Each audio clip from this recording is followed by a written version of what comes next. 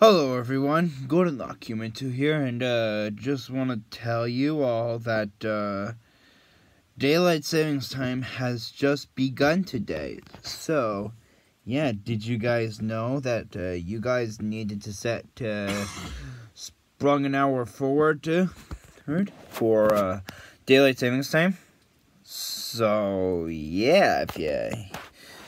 Did you make sure to uh, spring an hour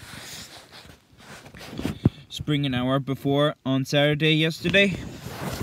So, yeah, if you did, it set your time, and uh, if you sprung a, sprung a forward an hour, then leave a like, comment, subscribe, and hit that notification bell so you know when I upload a video. As always, this is Gordon Lock Coming 2, signing off.